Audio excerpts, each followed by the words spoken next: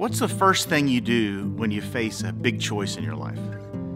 What's, what's the first thing you do when you're facing a big trial in your life? You know, if I'm honest with you, uh, when I'm facing big choices, probably the first thing I do is stress out and then maybe seek somebody's advice that I'm close to. Uh, facing personal trial, probably the first thing I do is start to worry and fear what can happen. Am I going to get out of this?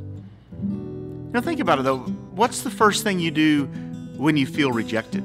And what's the first thing you do when you're treated unfairly? Better yet, what, what do you think Jesus would do? Well, that's what this next series is about.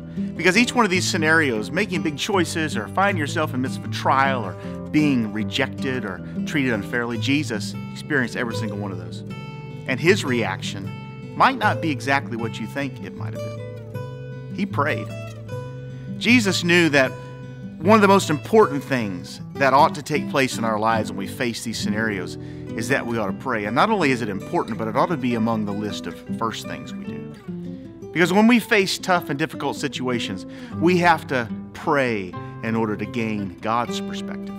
So join us in this next series of the Discipleship Project as we look at these scenarios and we look at when Jesus prayed.